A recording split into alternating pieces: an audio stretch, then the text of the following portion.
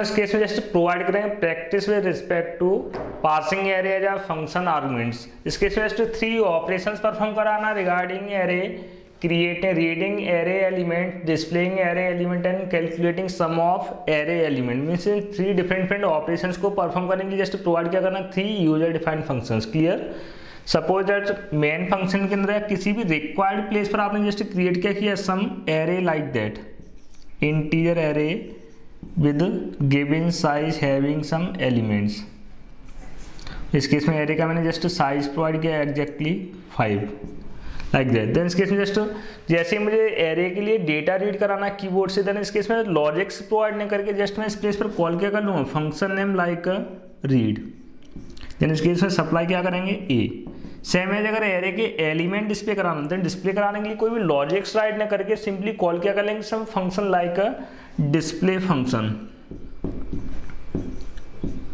display function के अंदर supply क्या करोगे? एरे ए प्लस एरे के साथ साथ आपको रिक्वायर्ड क्या होगा? Always size of current array और एरे का एरे के अंदर फाइव एलिमेंट है देन सप्लाई क्या करेंगे? एग्जैक्टली फाइव सेम है। अगर एरे के केस में परफॉर्म क्या कराना है? Sum of all array element अगर सभी एरे एलिमेंट का सम डिस्कस करना है जस्ट क्रिएट क्या करेंगे? फ़ंक्शन है सम देन सम के केस में रिटर्न क्या होगा रिज़ल्ट रिज़ल्ट को स्टोर कराने के सेपरेट वेरिएबल क्रिएट करना है रिज़ल्ट देन इस केस में कॉल क्या कर लेंगे? Sum function name as called as sum और सम के अंदर भी रिक्वायर्ड एरे पास करेंगे along with their size like that इस टाइप के ऑपरेशन में मेन फ़ंक्शन में प्रोवाइड करूँगा।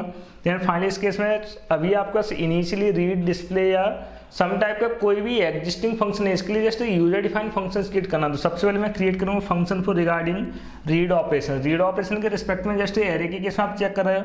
रीड फ़ंक्शन से कोई भी आपको रिज़ल्ट रिटर्न कराने की ज़रूरत नहीं, इसलिए इसका रिटर्न टाइप यूज़ करेंगे as a void then function name आप कुछ भी यूज़ कर सकते हो, इस केस में जस्ट मैं प्रोवाइड करा as a function name as read then first case में पास क्या हो रहा है? एड्रेस ऑफ़ एरे और एरे के एड्रेस को स्टोर कराने के लिए जस्ट रिक्वायर्ड क्या होगा?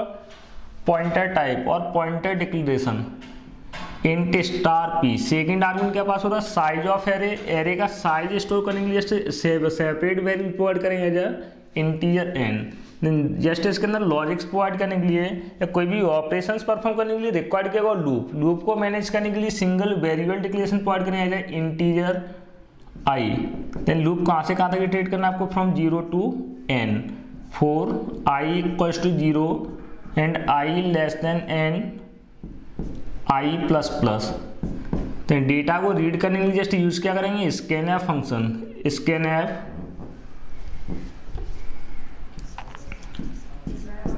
percent D just previous लॉजिक्शन nothing new इस ओनली न्यू ऑपरेशन किस फॉर्म में प्रोवाइड करें? इनसाइड फ़ंक्शन नेम है सम सप्लाई क्या करोगे? Address of P of I और इसका अल्टरनेटिव क्या यूज़ कर सकते हैं?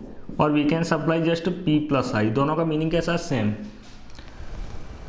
नेक्स्ट वन सिमिलरली अगर एलिमेंट को डिस्प्ले कराना है डिस्प्ले के लिए सेपरेट फ़ंक्शन क्रिएट कराना है वाइड डिस्प्ले डिस्प्ले के केस में जस्ट डिस्प्ले भी यूज़ कर सकते हो और फ़ंक्शन नेम है प्रिंट डिस्प्ले के केस में भी अगेन पास किया और एरे का एड्रेस और एड्रेस को स्टोर कराने के लिए रिक्वायर्ड किया हुआ pointer variable P then size size को स्टोर कराने के लिए रिक्वायर्ड किया और separate integer type of variable something N इस केस में अगेन लॉजिक्स कैसे रिक्वायर्ड है? सेम लॉजिक्स मीन्स फिर से आपको लूप इटरेट करनी रिक्वायरमेंट होगी।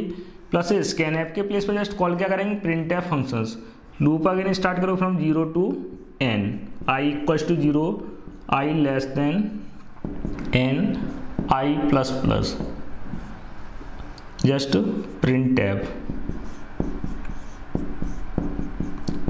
percent D P of I other function क्या क्रिएट करना है इस केस में?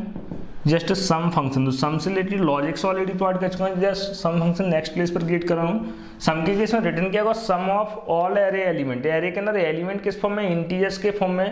तो इसका सम भी किस फॉर्मेट में आएगा? इंटीजर्स के फॉर्म इसलिए रिटर्न टाइप क्या यूज़ करोगे इस केस में? Integer type mean int function name है सम अगेन इसके अंदर आर्गुमेंट क्या पास करोगे? एरे एरे को स्टोर कराने के यूज़ करेंगे पॉइंटर सेम है एरे का साइज़ स्टोर कराने के क्रिएट क्या करेंगे? Variable as N then again loop iterate होगा मीन एरे को विदाउट लूप प्रोसेस करना पॉसिबल ही नहीं है. मीन अगर आप सारे के सारे एलिमेंट प्रोसेस करना चाहते हो डायनेमिकली यूज़ क्या करेंगे? Always loop then again loop कहाँ से कहाँ से चलाना आपको? Zero to N same loop mean से एवरी टाइम आपको सेम लॉजिक्स रिक्वायर्ड है लूप के रिस्पेक्ट में. नेक्स्ट वन जस्ट इसका सम स्टोर कराने के लिए सेपरेट वैल्यू क्रिएट करें something result initial value is zero just logic क्या result equals to result plus P of I just मैंने यूज़ क्या, किया कंपाउंड असाइनमेंट फाइनली इस फ़ंक्शन से रिटर्न क्या हुआ? Return result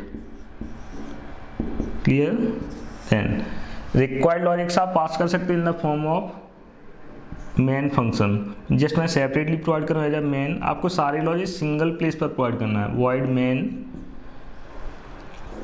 then variable declarations then given logics इसके साथ साथ क्रिएट क्या करोगे? Extra variable as result just storing result of sum functions one more case इस केस में एरे के एलिमेंट को मैंने इनिशलाइज नहीं किया। आप कोई भी रिक्वायर्ड एलिमेंट असाइन कर सकते हो like ten twenty thirty forty and fifty जिस टाइप से एरे के रिस्पेक्ट में रिक्वायर्ड फ़ंक्शंस क्रिएट करना पॉसिबल जस्ट नेक्स्ट केस में डिस्कस करूँगा।